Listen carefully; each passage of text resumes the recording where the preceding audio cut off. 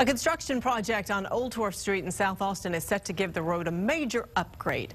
It runs from I-35 to South First Street, but business owners in that area say they're paying the price for progress. Omar Lewis has the story.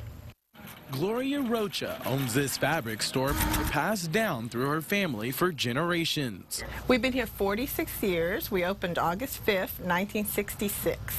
But business is far from usual.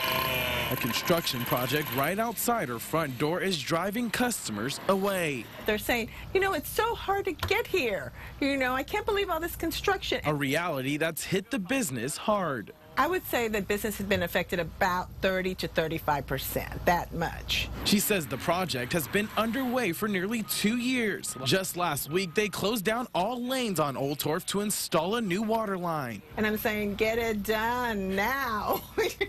we cannot wait that long. It's affecting everyone. It's not just us. The sound of jackhammers in the air is causing headaches for other businesses, too like Kira's Grill right down the road. And that's not the only problem. Water disconnection, uh, some utilities, uh, they knocked our sign down one time. And a change in ambiance for customers looking to grab a meal.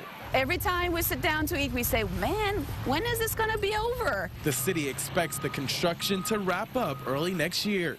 For businesses, it's been a long journey, but there is a bright side. Thank you, Austin. Thank you for your great loyalty, for keep coming. You know, I wouldn't be able to survive. No business will have ever been able to survive without loyal customers like what we have here. Reporting in South Austin, Omar Lewis, KXAN News.